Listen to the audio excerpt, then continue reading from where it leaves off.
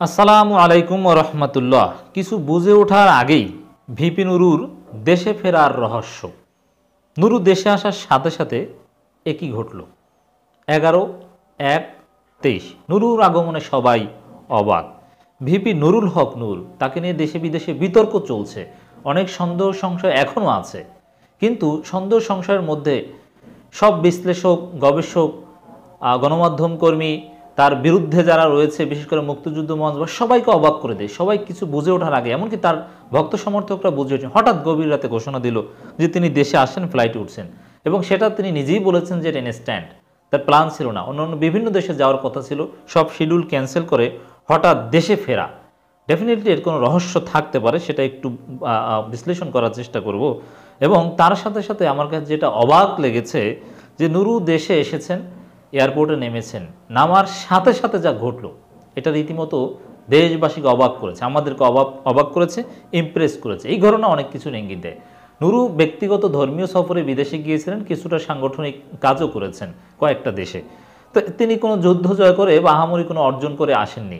তো সেখানে তার আগমনে জনগণের তার দলের হাজার হাজার নেতাকর্মীদের উৎসাহ, উদ্দীপনা এবং তারা যেভাবে চাতক পাখির মতো এয়ারপোর্টে তাকিয়েছিল যে কখন নামবে নুরু। হাজারো জনতা। এর মানে মনে হয় বিশাল কিছু। বিএনপির কোনো হেভিওয়েট নেতা, বড় নেতারা আসলেও এরকম আগ্রহ, উৎসাহ, উদ্দীপনা বা এতটা সিরিয়াসনেস আমরা দেখি না, যেটা নুরুর ক্ষেত্রে হয়েছে।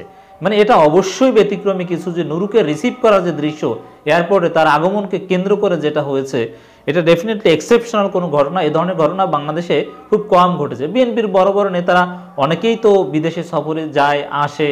এমনকি মির্জা ফখরুল ইসলাম আলমগীরের চাইতে বড় বিরোধী দলীয় নেতা তো এই মুহূর্তে নেই।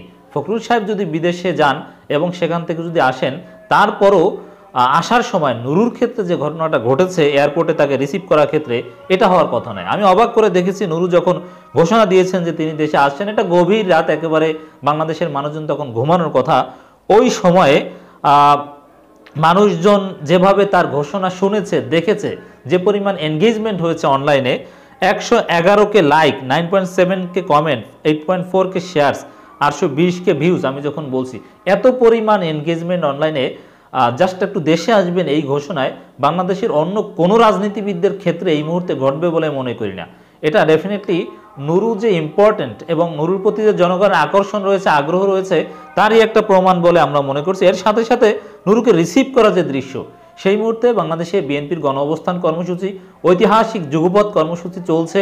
মানুষের আকর্ষণ থাকার কথা সেদিকে যে কি হয় গণ অবস্থানে কি পরিমাণ লোক বিএনপি সব সর্বোচ্চ হাই প্রায়োরিটি গত চোদ্দ বছরের মধ্যে অন্যতম একটা শ্রেষ্ঠ কর্মসূচি। কিন্তু জনগণের আগ্রহ সেই গণ অবস্থানের দিকে নয়। গণঅবস্থান কর্মসূচি দেশে বিদেশে থেকে অনলাইনে যারা দেখছে লাইভ তো সবগুলো সম্প্রসার হচ্ছে। তার চাইতে নুরু আসছে, নুরুকে রিসিভ করার দৃশ্য বেশি মানুষ দেখছে। এবং নুরু আসছে, নুরুর দিকে তাকিয়ে সবাই চাতক পাখির মতো গেটের দিকে তাকিয়ে আছে। কখন আসবে? অবশেষে টুপি পরে নুরু আসলো এবং প্রশাসনের লোকজন যেভাবে প্রোটোকল দিল আইন শৃঙ্খলা রক্ষাকারী বাহিনীর লোকজন এবং এয়ারপোর্টের কর্মকর্তারা তাকে যেভাবে প্রোটোকল দিয়ে গাড়িতে উঠিয়ে দিল, সেটা রীতিমতো অবাক করা দৃশ্য এবং ধীরে ধীরে তিনি বের হয়ে গাড়িতে চড়ে তিনি এসেছেন। এটা প্রমাণ করে যে আসলে এই মুহূর্তে নুরু বাংলাদেশে কতটা ইম্পর্টেন্ট এবং তার বিরুদ্ধে প্রচার প্রচারণা চালিয়ে তাকে কোন পর্যায়ে কোন হাইটে উঠিয়ে দিয়েছে, এটা কিন্তু এখান থেকে প্রমাণিত হয়েছে। এখন আর একটা আলোচনার বিষয়, যে এই যে কিছু বুঝে ওঠার আগেই হঠাৎ করে নুরু দেশে আসেন, যেখানে সন্দেহ রয়েছে সংসদে তার বিরুদ্ধে কথা, গ্রেপ্তারের দাবি, ব্যবস্থা নেওয়ার দাবি, এবং সন্দেহ বৈঠক করেছেন কিনা সেই সন্দেহ দূর কিন্তু হয়নি। এবং এখনও সেটা অস্বীকার করার মতো কোনো বিষয় নয়। এটা নিয়ে অনেক এখনও সন্দেহ, সংশয় বা অনেকে জোরালো দাবি করছেন যে না, প্রমাণ আছে। তো এত কীভাবে আসলেন নুরু? রহস্যটা কি? নুরু কি কোনো ভয় নেই? এখন হঠাৎ দেশে ফেরার রহস্যের মধ্যে আমি প্রথমে যে বিষয়টা সামনে আনতে চাই, সেটা হচ্ছে নুরুর অস্বাভাবিক সাহসিকতা। নুরু যে আসলে অনেক সাহসী এবং তিনি যে ভয় পান না এবং তার যে একটা বেপরোয়া ভাব রয়েছে, এই বেপরোয়া পজিটিভ অর্থে, এর মানে আপোষহীন ভাব, প্রচার প্রচারণা, গ্রেপ্তার, এগুলো যে ভয় পান না, তার একটা প্রমাণ। দেশে ফেরার রহস্যের মধ্যে আমি নুরুর ব্যক্তিগত সাহসিকতাটাকেই আমি সবার উপরে স্থান দিতে চাই? এর সাথে সাথে আর একটা বিষয় আমার কাছে মনে হয়, এটা উড়িয়ে দেওয়া যায় না। নুরু যে মুহূর্তে দেশে আসবেন, আসার আগের দিন থেকে এবং আসার আগ মুহূর্তে, নুরু দেশে ফেরার ঘোষণার মধ্যেও কিন্তু যে নিউজটা ছড়িয়ে দেওয়া হয়েছে, ছড়িয়ে পড়েছে ইসরায়েলি একটা নিউজ পেপারে নিউজটা এসেছে এবং সেটা বাংলাদেশের বিভিন্ন গণমাধ্যম টেলিভিশন চ্যানেল রিপোর্ট করেছে। Despite ban Bangladesh bought spyware worth at least twelve million US dollar from Israel firms, যে ইসরায়েল থেকে বাংলাদেশের সরকারি সংস্থাও নাকি বিভিন্ন যন্ত্রপাতি বিভিন্ন টেকনোলজিক্যাল ইনস্ট্রুমেন্ট কিনছে।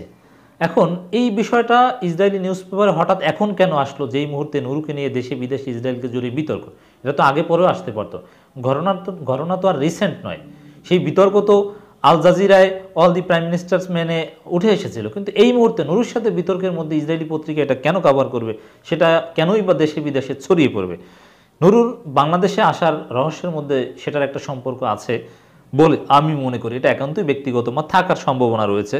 কারণ বিষয়টা এরকম হতে পারে যে সরকারের সাথে সম্পর্কের বিষয়টা আবার বাংলাদেশের পাসপোর্ট থেকে অ্যাকসেপ্ট ইসরায়েল শব্দটা উঠিয়ে দেওয়ার যে বিষয়টা, এটা সামনে আনা হচ্ছে যাতে নুরুর বিরুদ্ধে কোনো ব্যবস্থা নেওয়া না হয়।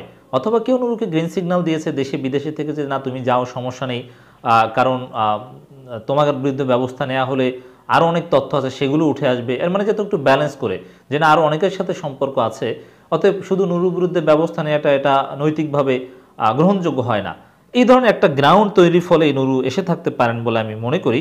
যাই হোক, দিন সাথে যার সাথেই থাক না, সে যে দলই করুক না কেন, ইসরায়েলের সাথে যদি কোনো সম্পর্ক থেকে থাকে বা ইসরায়েলের দ্বারস্থ হয়ে যদি কেউ কিছু করার চেষ্টা করে থাকে, তার বিরুদ্ধে ব্যবস্থা নেওয়াটা এটা বাংলাদেশের মূল্যবোধ বলে বাংলাদেশের মানুষের আশা, আকাঙ্ক্ষা এটাই।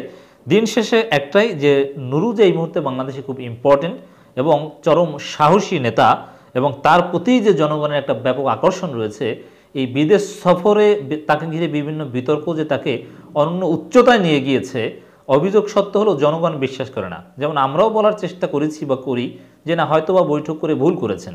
কিন্তু জনগণ কিন্তু বিশ্বাস করে না, জনগণের আস্থা নুরুর উপর রয়েছে। তো এরকম একটা ইঙ্গিত এখান থেকে পাওয়া যায়। নুরুর সাহসিকতা আরও প্রমাণ ফুল পলিটিশিয়ান হয়ে উঠছেন এই অল্প বয়সেই। তিনি ক্লান্ত ডেফিনেটলি ভিজিট করে এসেছেন, যদিও অতটা লম্বা জার্নি নয়। তারপরও তিনি বাসায় না গিয়ে সরাসরি আমরা যতদূর জানতে পেরেছি, পার্টি অফিসের দিকে যাচ্ছেন। তার প্রোগ্রামে গণ অবস্থান কর্মসূচিতে অংশগ্রহণ করার কথা রয়েছে। তো দিন শেষে এটা ডেফিনেটলি একটা ব্যতিক্রমী অর্জন নুরুর যে দেশে দেশব্যাপী একটা গণ অবস্থান কর্মসূচি চলছে সব কিছু ছাপিয়ে দেশবাসীর দৃষ্টি নুরুর দিকে কি হচ্ছে, কি হতে যাচ্ছে? অন্যদিকে, একেবারে যে কিছু গ্রিন সিগন্যাল পাননি বা হান্ড্রেড পার্সেন্ট সাহসিকতার উপর ভিত্তি আমি সাহসিকতাটাকেই সবার উপরে স্থান দিচ্ছি, সেটাও নয়। কারণ তার বিরুদ্ধে মামলার অভিযোগ করা হয়েছে, কিন্তু মামলা গ্রহণ করা বা গ্রেপ্তারি পরোয়ানা বা এরকম কোনো আদেশ বা এরকম কিছু কিন্তু আমরা দেখছি না। এর মানে বিষয়টা রহস্যজনক। তো এটা নুরু এসেছেন, এটা মনে করার কোনো কারণ নেই যে নুরু বুঝেন না, আবেগপ্রবণ হয়ে এসেছেন। বুঝে শুনে বা অন্য কোথাও যাওয়ার জায়গা ছিল না। তিনি চাইলে না না আসতে পারতেন, বিদেশে বসেও আরও প্রাসঙ্গিক থাকতে পারতেন। এর মানে বুঝে শুনে চিন্তা ভাবনা করে সূক্ষ্মভাবে সিদ্ধান্ত নিয়েই এসেছেন। এটাও কিন্তু জনগণের বোঝা দরকার যে নুরুর আগমন হঠাৎ করে অন্য কেউ কিছু বোঝে নাই, কিন্তু নুরু নিজেরা বুঝে, নিজে বুঝেছে বা তার দল বুঝে শুনেই কিন্তু এই সিদ্ধান্ত নিয়েছে। দেখি কি হয়।